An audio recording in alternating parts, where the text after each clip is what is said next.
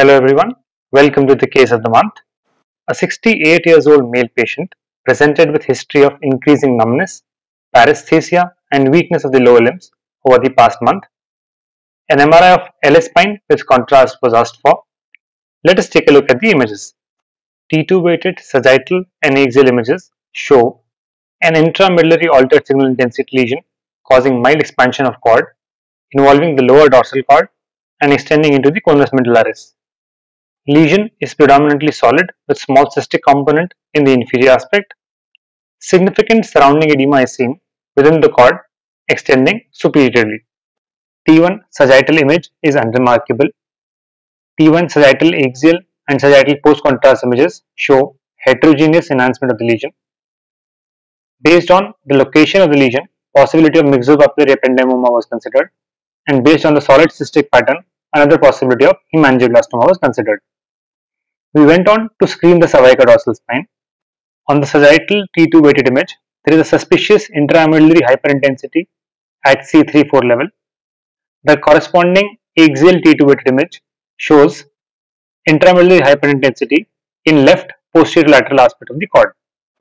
A closer look at the post-contrast images shows ill-defined flame-shaped regions of enhancement at the superior and inferior margins of the lesion on the sagittal image, the so-called flame sign, and a thin rim of more intense enhancement on the axial image, the so-called rim sign.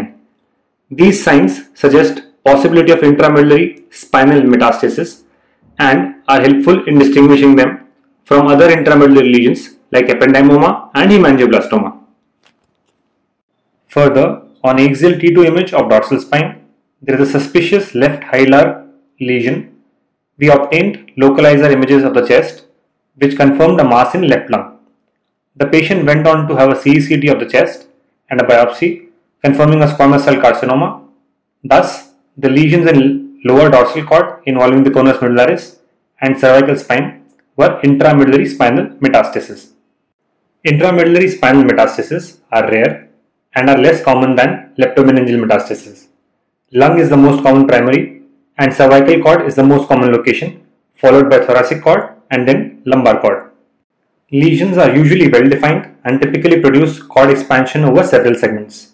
In contrast to primary intramedullary neoplasms, associated cysts are rare. However, an intralesional cyst was seen in our case. On T1, the lesions are usually hypointense. On T2, they are hyperintense with prominent surrounding edema. On post-contrast scans, most of them show avid enhancement as seen in our case.